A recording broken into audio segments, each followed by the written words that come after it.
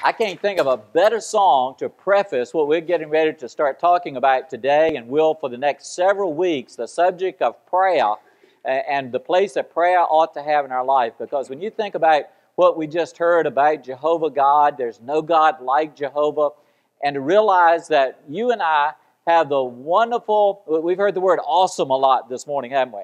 Uh, we have the awesome privilege of going to Jehovah God through Jesus Christ and talking to Him as frequently, as regularly, as fervently as we desire to. He has opened the door to us to come to Him on a regular basis. And that's what we want to talk about today. So let's begin this sermon on prayer with prayer. Let's pray. Our loving Heavenly Father, wow, thank you so very, very much for this time in your house today with your family. And, and Father, we pray for your church worldwide. We pray, Father, not only for the, the, the, small portion of your worldwide family that's gathered here in this place called Avalon, but for where Christians are gathered around this globe, uh, realizing that, like in India and China, that are hours ahead of us, that Christians have already met, gathered around your table, partook of the Lord's Supper, have worshiped you. And, and uh, as we move across our great country, realize that in the hours to come that there'll be other uh, faithful Christians that will meet. Father, what a great thing it is to be a part of that and to realize that, that your church uh, has been established for almost 2,000 years and that Jesus promised that the gates of, of hell, the gates of death, would not prevail against it. We have the great privilege of being a part of that. And so, Father, we praise you today. And I ask you that as we talk about prayer today and the next several weeks, that you would help us to see what a wonderful privilege it is to talk to you and to talk about the things of the kingdom and the things of our lives and to bring to you by way of petition the needs of our lives and to know that you're ready to answer, to grant the petitions of our hearts.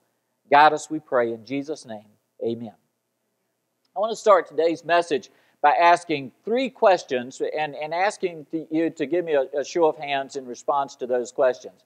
How many of you would raise your hand and say yes to the question that, uh, that there's some aspect about my life, some aspect about your life that you would like to change? Some part of your, your habit, some part of your character that, boy, your hands are going up already. It wasn't ready yet, but yeah, in other words, there's some change that you'd love to make. Some of you are really energetic about this this morning. Yeah.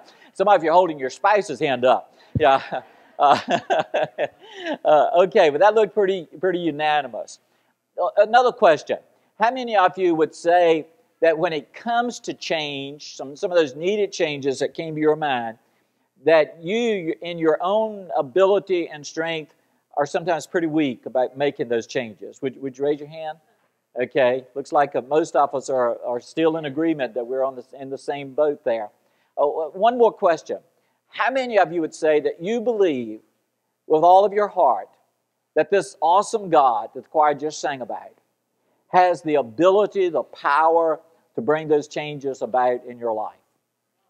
Okay. Uh, what you just did is you displayed by the show of your hands uh, the, the wonderful privilege of prayer in our lives and why prayer is so necessary. Uh, just one verse for our text today, found in the Gospel of Luke in chapter 11 and verse 1. It says, One day Jesus was praying in a certain place, and when he finished, one of his disciples said to him, Lord, teach us to pray, just as John taught his disciples. Well, think about that. The disciples had had the opportunity to watch and to listen Jesus uh, to Jesus preach the greatest sermons that had ever been or would ever be preached. And yet, nowhere in the full Gospels do you ever hear the disciples come to Jesus and say, Jesus, teach us public speaking. You know, teach us the ability, give to us the ability, teach us how to preach.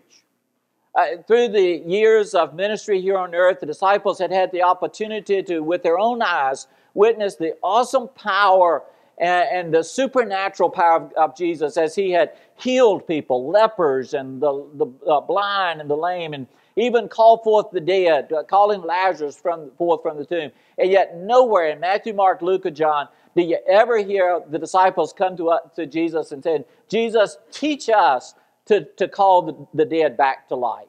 Teach us how to do these miracles. Uh, so there are so many things that, that when you think that they could have asked Jesus, why did they ask? Teach us to pray. Teach us to pray. I'm not sure I know the, the full answer to that question, but I think at least one thing was uh, the reason was that because they had seen him pray and they had seen the results of his prayer. It was what prompted them to say, Teach us to pray. They saw him pray, they saw what happened. They, they saw that prayer was the life support system of, of this wonderful teacher, Jesus, that it was the key to his life. And friends, there's nothing more valid, there's nothing more, more vital to you in your Christian walk than your prayer life. And that's what I really want to stress in this today's message and, and the messages for the next several weeks. But as we begin, I want to share with you that there, there are a lot of misconceptions that people have about prayer. Is my thing going in and out? Yeah. Want to put me on the pulpit mic? Let me get it centered here. Okay, and I'll turn this one off. Yeah. There are a lot of misconceptions about prayer, about how to pray, when to pray, why we pray. And, and I just want to share with you, just real briefly, what some of those misconceptions are. For example, I think some people look at prayer as a magic wand. Uh, you've all, you know, you know what a magic wand from our childhood uh, stories. Um, a magic wand is something you just sort of wave at something and hope that something's going to magic is going to happen. You know, it's a superstitious kind of approach. You wave it, and, and in this misconception, people just sort of see um, God is like that genie that you rub the bottle and poof, you know, and out comes the genie and he says, I will give you three wishes. Uh, and, and, sometimes I think people see prayer as like that, as a, as a magic wand or a genie uh, in a bottle. Uh, secondly, uh, another misconception is that people think of prayer as a first aid kit. A first aid kit. You know, what, what, when do you use a first aid kit? When you're hurting. you know, you've, you've cut yourself or you've smashed your thumb or you need a band aid or something more uh, substantial. And so sometimes people see prayer as just sort of, you know, it's the first aid kit. I've got prayer over here when I need it. Hope I don't need it too often, but it's sort of, sort of comforting to know that it's there. So, like the man I read about came to his preacher one day, and the preacher said, I guess all we can do is pray. The deacon said, Has it come to that? is it that bad? You know, get the first aid kit. Um, so frequently, for us, prayer is the last thing. You do everything you can, and then if nothing else works, grab the first aid kit. Pray about it. Uh, misconception, bad misconception. Uh, a third one is that sometimes people see, I think, prayer, maybe never thought about it in these terms, but like a tug of war. A tug of war, you know, where you've got somebody on either end of the road and, and we're on this one end and we're just pulling. We say, God, this is what I need. This is what I want. God, you just don't understand. You're, man, I really need this. And you just keep pulling and pulling and pulling. And you sort of picture God not really being in agreement with you and He's pulling on the other end. And you're saying, but God, you don't understand. You know, here's what I need. Please help me. Help me out of this predicament. Give me this or do this uh, for me. So it's a tug of war kind of thing. Oh, and then number four, maybe the worst misconception of all and that's the misconception that prayer is a religious duty, a religious duty. And, and that's why I think we say things, and I've been guilty, I confess, uh, of saying things like, I know I should pray more. You know? I mean, what does that convey? Well, this is a duty that I have. I, I really ought to pray. I know it's something that I ought to do. And if we get, we get this idea that if we don't pray, then we'll automatically be on God's bad list. Uh, and as a result, if we're not careful, if that's solely the way you look at prayer, then we will fall into prayer becoming a meaning, meaningless ritual. Um, we say, well, oh, you know, the day's almost over and I haven't prayed. I really ought to pray. Let me pray and then check that off of my spiritual to do list. And I know God is really happy with me because I've done my spiritual duty and I prayed. No, no, no. That's not the way we should think about prayer. Listen, if prayer is a duty for you, you have missed the total point of prayer. So those are some misconceptions. So, you know, what's the real deal then? Uh, and, and, that's really what I want to share with you today. There are, there are at least four, I'm sure there are more, but there are four purposes of prayer that the Bible really makes clear. And I think that, and, and um, as we work our way through these four today, and I'm saving the best for the last one. I love the last one. We'll get you real excited about it, looking to it, uh, toward it. Uh, but if we have, if we get the biblical uh, approach of what, what prayer is all about and how God sees prayer in our lives, I think it will excite us more uh, about praying and and help us in, in, our prayer commitment. So, what what are the four purposes that we, at least four that we see from Scripture? Number one, prayer is a declaration of dependence. Prayer is a declaration of dependence. Now, notice I didn't say independence. It is a declaration of dependence. Uh, and there are a number of scriptures that would indicate that, but just, let me just call your attention to John chapter 15. In fact, if you have your Bibles, you might want to open to John 15. We're going to look at several verses right in that neighborhood of the Gospel of John. But in chapter 15, Jesus uses this figurative speech to talk about or illustrate the relationship that we, his disciples, his followers, have to him. And in verse 5, he says, I am the vine you are the branches. So picture this. Jesus is the is the the, the main trunk there, and, and we are attached to him in a, in a figurative way.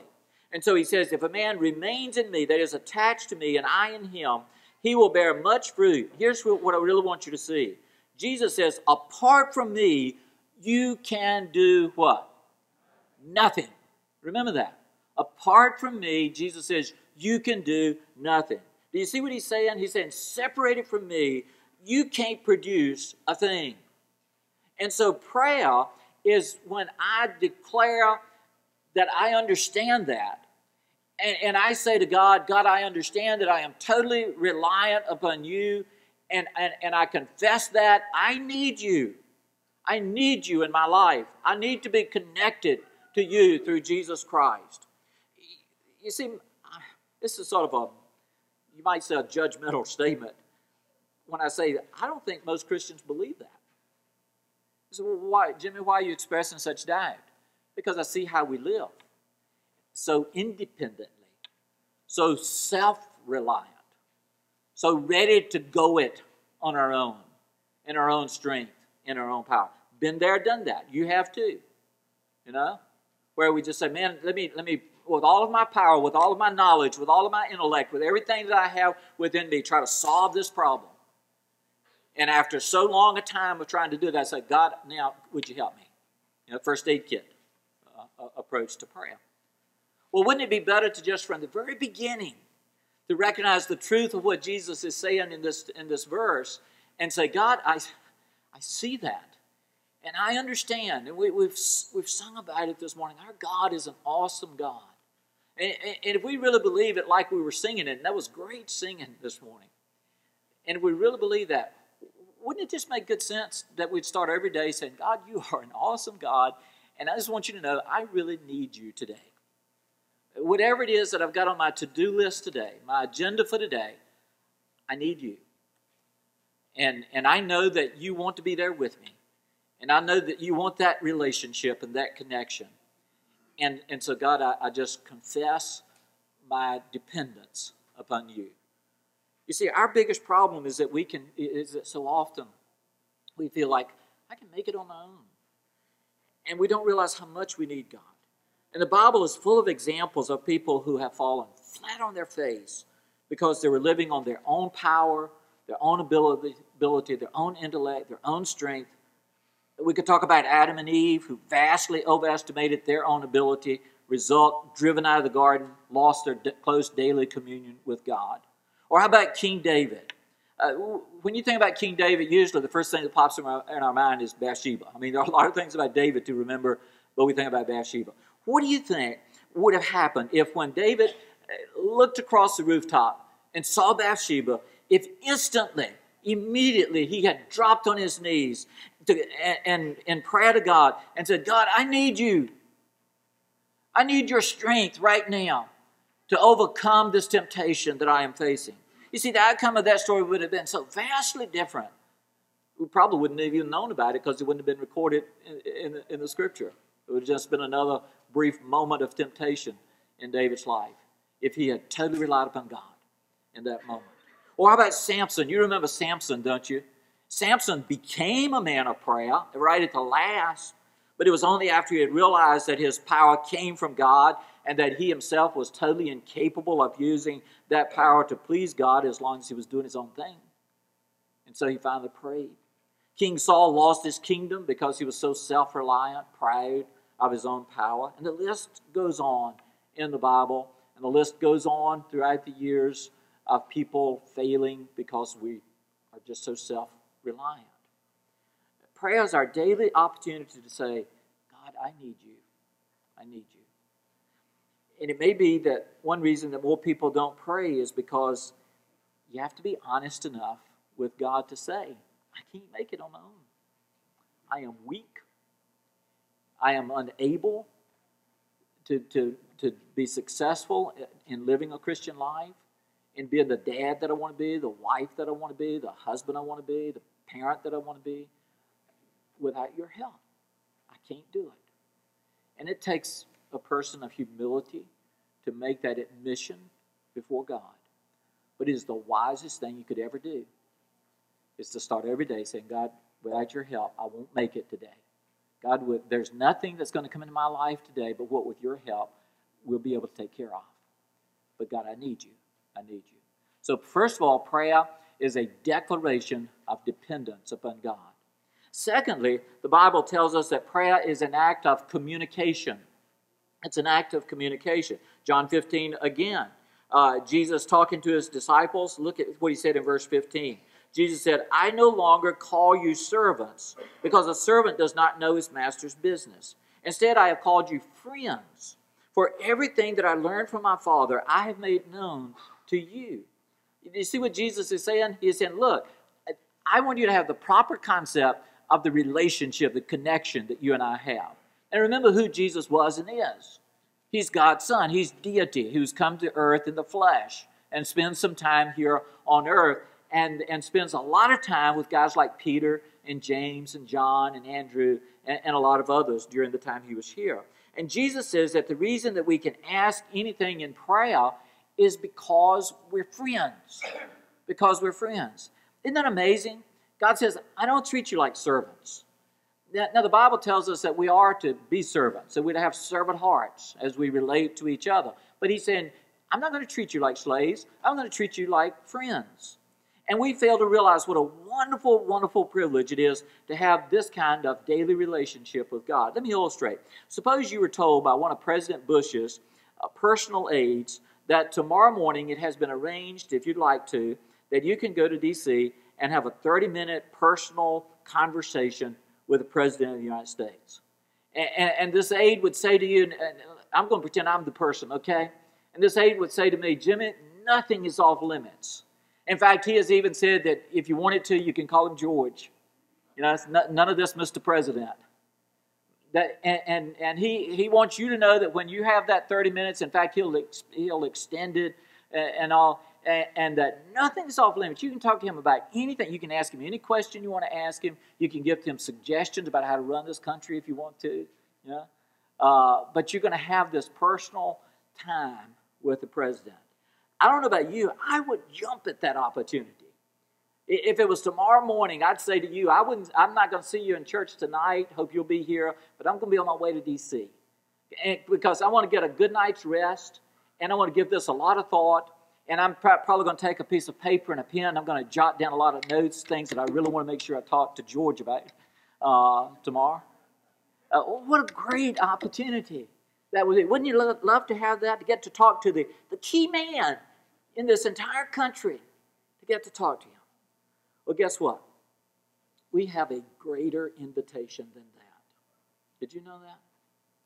A greater invitation than that we're invited to converse with the Creator. We're invited to talk with the one who is in charge of all that there is. I love what somebody said. You don't have to talk to the key people here on earth if you're friends with the one who holds the keys. Isn't that great? And, and we're, the, we're friends. You, have a, you, you, are, you are a friend to the one who holds the keys. And he has said, Come talk to me anytime you want to. You don't have to have an appointment. You don't have to call and see if it's okay if you're interrupting anything. But you can just come talk to me. Wow. That's what prayer is. God says, I'm the King of Kings, Lord of Lords, and you're my friend. Let's talk. That's what prayer. And, you know, I think part of our problem is that we really, to be honest, have a hard time believing that God is really interested in us. What do you think? I mean, the God who, I mean, there's six billion people on the face of this earth. And the God who's in charge of, of this earth and this universe and keeping the, the solar system going, it, it, we can't conceive that this God is interested in car payments? Or an algebra test that I've got tomorrow or a communication problem with my spouse or the guy at work who just irritates the life out of me and I hate going to work every day and communicating with him. Would God be interested in that? Or that, that I have a recurring back problem. Does, does God really care? And the answer, according to the scriptures, is yeah, He cares. He cares about all of those things. And then, and even things that we that may in our category seem to be even more trivial. And, and some of you could share today, and I, I wish I had time to just go into this point more, but I, I don't. But you could share about the personal things that you've gone to God and talked to about, and He's heard and He's answered your, your prayers. Why? Because He's your friend. He's your friend. So prayer is a declaration of dependence on God and His power. And it is an act of communicating with Him because He's our friend. Is prayer taking on a different light for you? I hope it is this morning. Let's look at number three. Number three, prayer is an act of supplication. It's an act of supplication or request. You know, there are many, many wonderful promises found throughout the Word of God that apply to us as, as the followers of Christ. For example, in the Old Testament, Psalm 37 4 says, Delight yourself in the Lord. And I like this second part. He will give you the desires of your heart. Isn't that great? He will give you the desire, not, doesn't say the needs, the, the desires of your heart. Why does he want to do that? Because he's our friend. Goes back to the, next, to the previous point. Uh, Psalm 84 11. For the Lord God is a sun and shield. The Lord bestows favor and honor. How about this? No good thing does he withhold from those whose walk is blameless. Now, blameless doesn't mean absolute sinless perfection there, but it's just that does indicate that we're striving to walk in His will and in His favor. And if we're doing that, then He loves to, to give us those good things. No good thing does He withhold. A lot of passages like that sprinkled throughout the Old Testament, especially through the book of Psalms and Proverbs. But how about the New Testament? Philippians 4:19. And my God will meet all your needs according to his glorious riches in Christ Jesus. That's a pretty nifty promise, isn't it? I mean, think about having that kind of bank. Yeah? My God will meet all of your needs. But, but the fact of the matter is that, get this, prayer is God's chosen method of meeting your needs. And if, you don't want to miss this point. Prayer is God's chosen method of meeting your needs. Uh, the Bible teaches us that there are some things that God has promised to do, but only if we pray. Some people think, hey, God already knows. God is omniscient, knows everything that there is. So he, he already knows everything that I need, so I don't need to ask. He'll just give it when I need it. No, no, no, no. That's not what the Bible teaches. In fact, James says in his epistle, you have not because you ask not. You ask not. Over 20 times in the New Testament, the Bible says, ask, ask, ask. Keep on asking. There's a fictitious story, I emphasize fictitious, okay, that carries a great lesson. It's about a guy who died and went to heaven. And all over heaven are these huge warehouses, inside of which were tremendous gifts, these big warehouses. And every time when you go in, there was these gifts stacked to the ceiling, wrapped in pretty paper. And, uh, and these gifts were things, fantastic things, like happy families, special spiritual blessings, peace and contentment, just all kinds of, of neat gifts. And the guy says to the Lord, said, Lord, where are all these gifts? And Jesus said, Well, look for yourself. There's a tag attached to every gift. And so the guys went over and looked at the tag. Well, sorry, get away from the mic. Yeah. uh, look, looked at the tag, and it said, Never ask for. And he turned to another big box and looked at the tag and said, Never ask for. And A third one, never. And, and he realized the same thing attached to every gift there. Never ask for, never ask for, never ask for, never ask for. So, do you, do you see what that story is, is teaching us?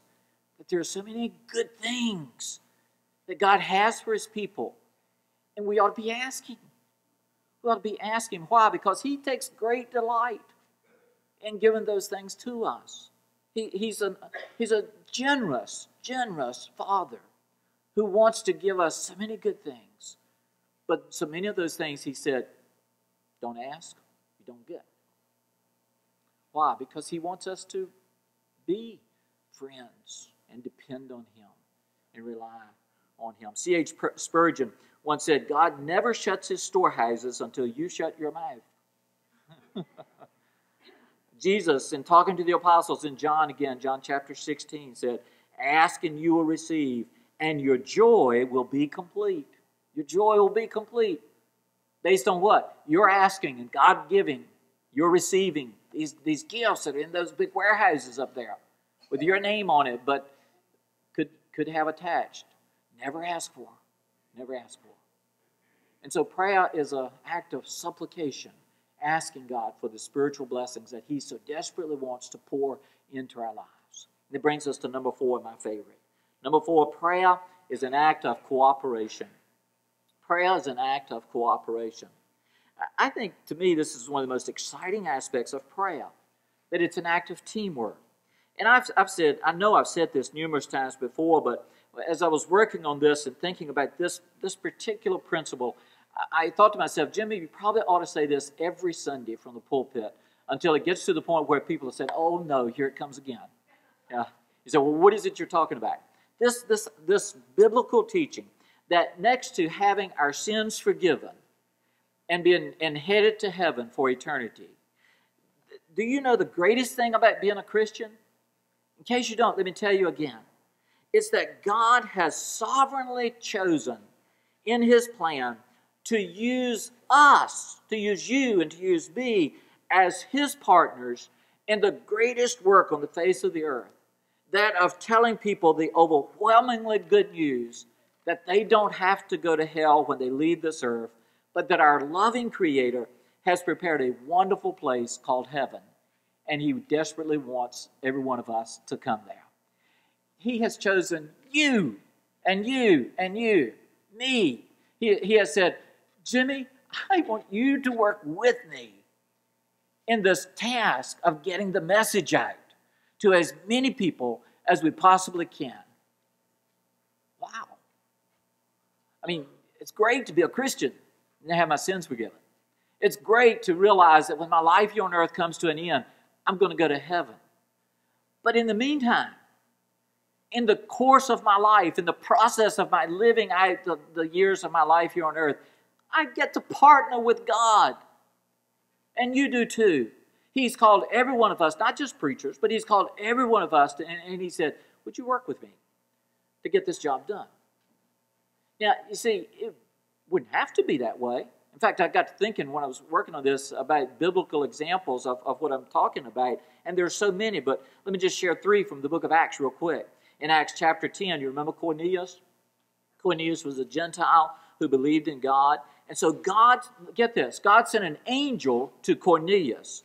And that angel said specifically, I mean, he spoke to him. The angel speaking to Cornelius said, Send to Joppa for Simon, who's called Peter.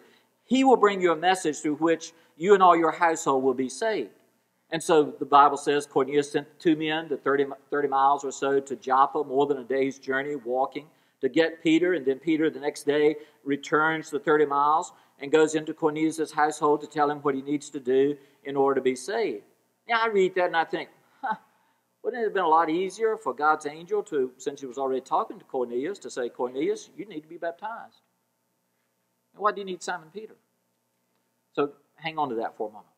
Acts chapter 8, we read about another angel. This one went to Philip and told Philip, Go down to a desert road where he met up with a man from Ethiopia and shared the gospel with him and baptized him into Christ. Question Couldn't the angel have just cut Philip out of the equation? And instead of the angel going to Philip, the angel go to the Ethiopian man and tell him, you know, find somebody to baptize you so that you can become a Christian. Another one, Acts chapter 9, Saul, who we later, uh, uh, later know as Paul, struck down by the Lord on the way to Damascus with a bright light from heaven.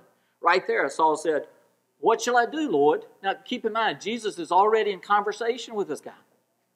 And uh, he's already engaged. I mean, couldn't Jesus have, have just said, Arise and be baptized and wash your sins away, calling on my name? But he didn't. He told Saul to get up and go into Damascus. And then the Lord spoke to another guy named Ananias and told Ananias to go tell Saul to be baptized. Uh, so, three chapters, three times, God used men, Peter, Philip, and Ananias, to do what God could have done himself. God could have just carried all of that out. He could today. He could just go to India and China and Thailand and just tap people on the head and say, By the way, did you know I love you enough that I sent my son Jesus into the world? If you want to become a Christian, I'd love to have you as part of my family. God could do that, but he chose not to. In 1 Corinthians 3 9, Paul says just three powerful words. We are called God's fellow workers. We are working with God. What am I saying? I am saying that God has chosen to use his people, that's us, to tell the message of salvation. We are in a joint business with God. And a very important part of the way this business is, works is called prayer. Prayer. Prayer is God's program. Prayer is God's way of doing things. Prayer is God's way of operating. Prayer is God saying, I have chosen to limit myself to what I accomplish on earth simply by limiting myself to the faith and prayers of my children on the earth. What they believe me for, I will do. We talk about, you know, the, so, such huge segments of the earth's population today that don't know Jesus as Christ. Is that God's fault? Mm, no. That's church's fault. I'm not just talking about us, but I'm talking about Christians through the ages who've dropped the ball and who failed to realize the awesome responsibility of being partners with God in the work of God's kingdom. One of the most amazing verses in all the Bible is found in John 14 12, where Jesus, talking to the disciples, said, I tell you the truth, anyone who has faith in me will do what I have been doing. And then this, this, that just sort of blows your way. He said, He will do even greater things than these because I'm going to the Father. Jesus is saying to the disciples, you, the disciples, and then and down through the ages, all of us as Christians, that, that we can do greater things than Jesus did? You just want to go back, whoa, whoa, no, no, no, no. That must, that's got to be a misprint. I mean, look at all the things that Jesus did. So, how is it possible to do greater things than Jesus? The answer is simple prayer. That's it. Prayer. I mean, think through this. When Jesus was here on earth, he voluntarily limited himself in becoming a human. Therefore, he could only be in one place at one time. He was limited by space and time. He could not be in the past, the present, and the future at the same time. He was limited to do the miracles that he did within the vicinity of where he was at that particular time. But now he says, I'm going to the Father. In other words, he's gone. He's gone back to heaven. But before he left, in the very next verse here in John chapter 14, he, when he, right after he said he will do even greater things than these because I'm going to the Father, then he said, and I will do whatever you ask in my name. Do you get the connection? Prayer connected to us doing greater things than Jesus? Because why? Because prayer is not limited by space and time. You can pray, it's like sending a missile, a good, good kind of missile. Yeah?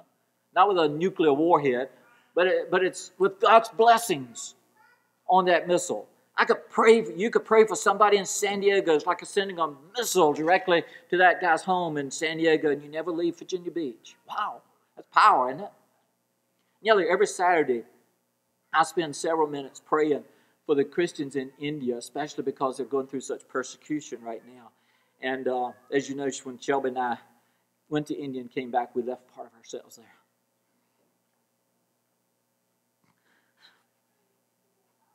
Uh, so I've just got a reminder on my computer that reminds me that 10 and a half hours before the Lord's Day starts in India, I pray that part of God's kingdom. And you know, when I'm doing that, she, Shelby could call and say, Jimmy, what are you doing? I could truthfully say, nothing much. I've just been in India for the last 10 minutes. Uh, I've just been talking to the senior partner of this enterprise called God's Kingdom, asking him to protect some of our co workers over there in India. You get that? We're partners. We're partners with God. And prayer is just our communication about the work of this business that we're involved in.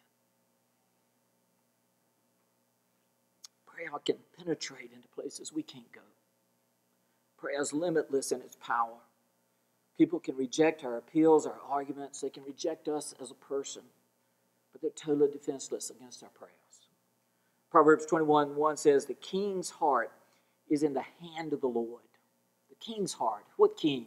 Christian kings? Not necessarily. Every king. Christian king, pagan king, atheistic king, terrible king, tyrannical king. The king's heart is in the hand of the Lord. And then he says he directs it like a watercourse wherever he pleases. There's several biblical examples of that. One found in the book of Ezra. I love this passage where it says, For seven days they, the Jews, celebrated with joy the feast of unleavened bread. Why? Because the Lord had filled them with joy. Where did joy come from? Because God had changed the attitude of the king of Assyria so that he assisted them in the work on the house of God, the God of Israel. I don't know about you, but I see a little humor in that verse. You say, humor? Where's the humor? Here's a king, the king of Assyria, not God's chosen people, uh, not a worshiper of God. And yet he's helping the Jews to work on the house of God. Where I see the humor is I just sort of see the king, just picture this king one day say, Why am I doing this? Yeah. I don't even like these people. Yeah. I don't believe in their God.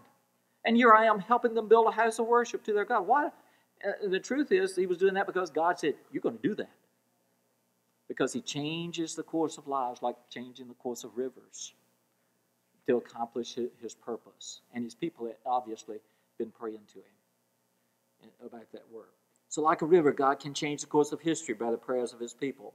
And that's the reason I'll finally get to the title of this message. First, I called it Moving the Hand That Moves the World. But then I thought it's more personal than that. It's moving the hand of the one who moves your world. That's what prayer is. It's moving the hand that moves your world and my world. And for the next several weeks, we're going to be talking more about prayer. And I pray that you'll pray with me that Avalon will be a praying church. Because a praying church is a holy church. A praying church is an enthusiastic church. A praying church is a church that sees God act in the life of the congregation as well as in individual lives. A praying church is a happy church because when you pray and you get answers, your life is full of joy. There's nothing more fun than seeing answers to prayer. But we've got to pray first. So as we close today, let me ask you, what are you lacking in your life right now simply because you fail to ask God for it? That's just it. You've not asked God for it. Maybe a change in some particular area of your life needs to take place, and you just need to say, God, I rely on you because without you, I'm nothing. Without you, I can't do it. Because he says, ask and just keep on asking. Keep on asking. Let me encourage you to plan to be here for each of these sermons on prayer and pray for these messages and for our hearts to be open, and God will use them to help us become a church full of prayers, faithful prayers. Why? Because we realize what prayer is. It's not a first aid kit, it's not a magic wand, it's not a religious duty. But these things that we've talked about today just put it on a different level, don't they?